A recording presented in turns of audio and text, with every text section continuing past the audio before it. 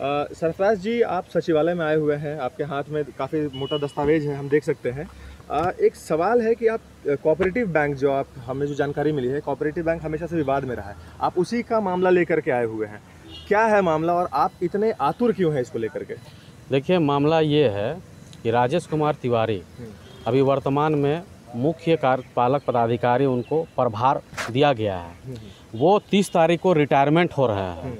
मज़ेदार बात यह है कि इनके ऊपर जो है आरोप जो है विभाग द्वारा प्रमाणित है और वो जिस बैंक में वो कार्यरत अभी हैं जहाँ के सीईओ हैं वहीं पे उनको अभी वर्तमान में सीईओ बनाया गया है। उसी बैंक में साज सज्जा के लिए एवं नेटवर्किंग के लिए वो काम हुआ था। उस काम में जो है एक ही का, अ, काम के लिए छः प्राकलन तैयार किया गया था। एक ही काम के लिए? एक ही काम के लिए। अमूमन आमतौर पे क्या होता है कि एक काम के लिए एक प्राकलन होता जी जी बिल्कुल बिल्कुल।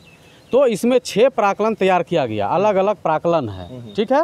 उसके बावजूद जो है कार्यपालक अभियंता सागर कुमार को जो है रोड चलते हस्ताक्षर करवा लिया। इसमें बैंक का जो कमिटी होती है उसे किसी भी प्रकार का कोई प्रस्ताव नहीं लिया गया है। ये फर्जी तरीके से हुआ और इसमें प्रमाणित है कि सुशील कुमार तिवारी जो है इसमें दोषी है इन पे गबन का मामला है और इसमें जो है एफआईआर जो है, कोतवाली थाना में 36 ओब्लिक 2019 में एफआईआर लॉज है, जो सारा धारा नॉन अवेलेबल है, उसके बावजूद हुए है।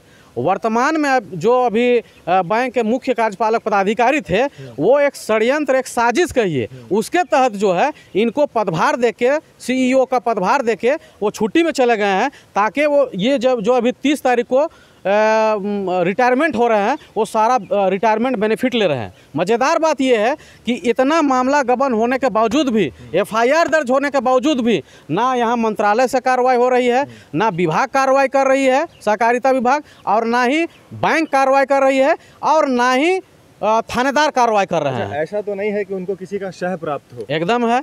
जब कार्रवाई नहीं होना मेरा सवाल है क्योंकि अगर मान लीजिए नॉन अवेलेबल वारंट है नॉन अवेलेबल सेक्शन लगाया हुआ है। जी जी। एफआईआर किया हुआ है। तो जी। अभी तक तो उनको पुलिस को उनके घर से उठा के लेके थाना में बंद कर देना एकदम चाहिए बिल्कुल बिल्कुल। तो अगर नहीं कर रहा है तो मतलब प्रशासन किसी के इशारे पे काम कर रहा है या तो उनको किसी का शय है। देखिए उन पे उन पे जो धारा लगल है ये 420 है 406 है 409 है चार सौ सड़सठ। है चार सौ अड़सठ। चार सौ इकहत्तर चार सौ तीन है एक सौ बीस भी है तीन सौ उनचालीस है। केस है छत्तीस ओब्लिक 2019 का मामला है। ये 2019 से अब तक जो है पुलिस कार्रवाई नहीं कर रही है। सबसे बड़ा सवालिया निशान है। आखिर एक अभी आप देखे होंगे अभी सैयद रियाज अहमद को एफआईआर लॉज हुआ और तुरंत उसको गिरफ़्तार करके जेल भेज दिया गया। और यहाँ पे गबन का मामला है गबन प्रमाणित हुआ। ये हम नहीं कर रहे हैं।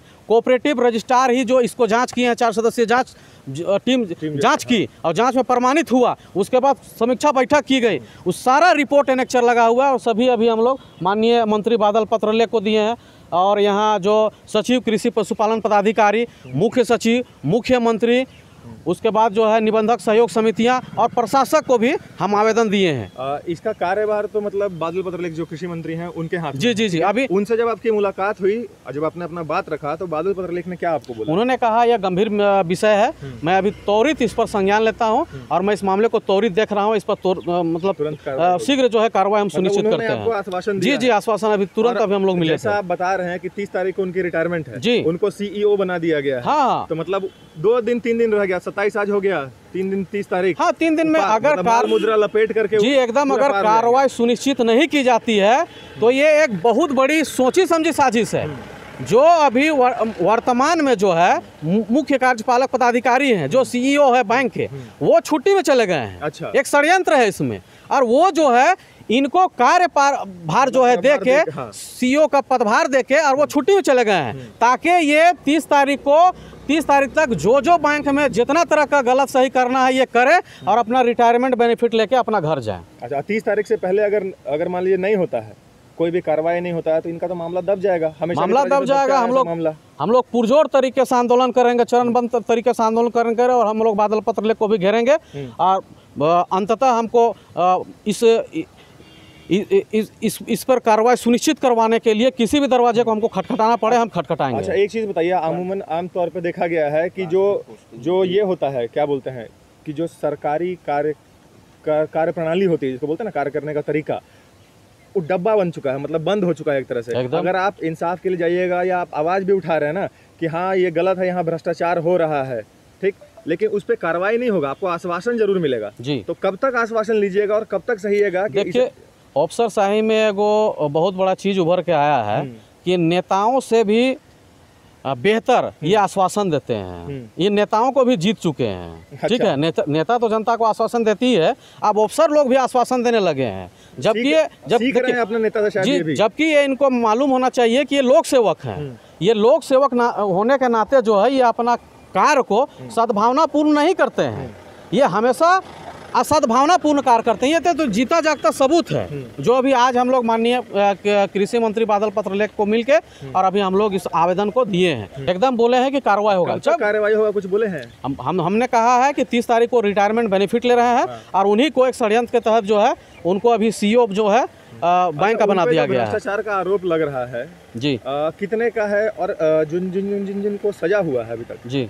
उन लोगों की स्थिति क्या आपको मालूम है कुछ? नहीं अभी इसमें किसी का गिरफ्तारी नहीं हुआ है। अच्छा ही जो नहीं है कुछ। किसी पे गिरफ्तारी नहीं हुआ है। अच्छा। इसमें केस हुआ 2019 में केस नंबर 36 है और इसमें कुंडली मार के था कि जब एक सैयद एक सैयद रियाज पे हाँ। यौन शोषण रेप का केस लगता है और तुरंत उन्हें पुलिस गिरफ़्तार करती है और तुरंत जेल भेज देती है। और वहीं चूँकि वो एक अधिकारी ये भी हैं एक पदाधिकारी ये भी हैं और इन पे जब आरोप होता है केस एफआईआर होता है केस लॉज हो जाता है साबित भी हो जाता साबित भी हो जाता है ये जाँच में प्रमाणित है सब नॉन अवेलेबल सेक्शन है उसके बावजूद भी पुलिस एक दिन भी इनके घर नहीं जाती है। मतलब आपका कहना है कि भेदभाव क्यों हो रहा है? एकदम। देखिए हम एक मांग करना चाहते हैं आपके चैनल के माध्यम से। मेरी आवाज़ अगर सरकार तक पहुँचे आपके चैनल के माध्यम से तो हम ये आग्रह करेंगे निवेदन करेंगे कि अगर आप कार्रवाई नहीं कर पा रहे हैं जो दोषी हैं जिस पे एफ़ आई आर लॉज है अगर कार्रवाई नहीं कर पा रहे हैं तो कम से कम पुरस्कृत कर दीजिए तो मन में संतुष्टि होगा। तो चलिए भाई मंत्री साहब कार्रवाई नहीं कर पाए तो कम से कम पुरस्कृत तो कर दिए। और अभी पुरस्कृत किए हुए हैं ऑलरेडी पुरस्कृत किए हुए हैं जिस पे एफ़ आई आर गबन का आरोप है जाँच में प्रमाणित है एफ़ आई आर लॉज है उसको सलाखों के पीछे होना चाहिए। तो कोऑपरेटिव बैंक का जो है उनका सीईओ बना दिया गया है। ये तो झारखंड का दुर्भाग्य है। हो सकता होगा कि यही पदाधिकारी लोग नेता लोगों को माल मुद्रा पहुंचाते होंगे। देखिए, ये तो- कोई सोर्स होता है ना लिंक ये तो स्पष्ट दिख भी रहा है। स्पष्ट दिख भी दिख रहा रहा है है लेकिन कोई देखना नहीं चाहता। इसमें बहुत अंतर है। एक दिख रहा है सच्चाई दिख रहा है आपके कागज़ में जी, जी, जी, जी, कुछ। जी। लेकिन कोई देख क्यों नहीं रहा है? देखिए सवाल तो है कि कोई देख क्यों नहीं रहा है? नेता मंत्री पदाधिकारी कोई देख क्यों नहीं रहा है? देखिए यही सब काम के लिए जो है ना ये इनको यहाँ पे अब बाद में ये लोग चिल्लाएँगे कि सरकार राज्य में पैसा नहीं है पैसा नहीं है तो इतना का नुकसान हो गया इतना नुकसान हो गया। तो कार्रवाई क्यों नहीं हो रहा है? कोई देख क्यों नहीं रहा है? अब हम लोग तो अभी मिल के दिए हैं हाँ। और हम लोग को भी बोला गया है कि हम इस पर शीघ्र कार्रवाई करते हैं। आपका संगठन इस मुद्दे को कहाँ तक ले जाएगा? जब तक इस पे न्याय नहीं होगा कार्रवाई सुनिश्चित नहीं होगी तब तक अगर हम लोग देख लेते हैं तीन दिन के अंदर कोई कार्रवाई सुनिश्चित नहीं हो जाती है तो बिरसा मुंडा भ्रष्टाचार निरोधक संगठन जो है इस पर रोड में उतर के सरकार को जगाने का काम करेगी और इस मामले में शीघ्र जो है कार्रवाई सुनिश्चित करने का मांग करेगी। बहुत बहुत